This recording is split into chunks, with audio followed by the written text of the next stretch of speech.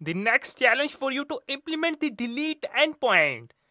When you send the request to the delete endpoint, let's say that I'm going to send the delete request. It must delete the company from the MongoDB. Not found because I did not implement that. So it's your challenge. You have to solve this challenge. Stop the video and start implementing the delete endpoint. Okay, let me show you how to solve this challenge. The same process, async await. Use the try catch block. We also need to handle the error. I'm gonna call server error.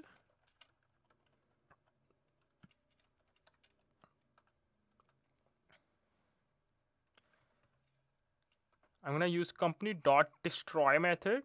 Destroy method is used to destroy records it will take a criteria object id we want to delete the company by id like i can get the id from the params here request.params i'm going to apply await expression. When promise will be resolved it will give me the results. So i'm going to send this results in the response with 200 status codes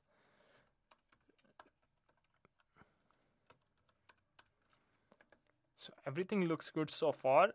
So we did not implement the route yet. We did not create the route. Let's do that. Delete. And we also need to change here delete method.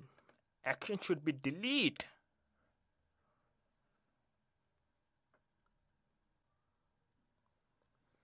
Let's try to delete the Netflix company. Bam, record is deleted. Let's try to find all the companies. Oops, we need to find that.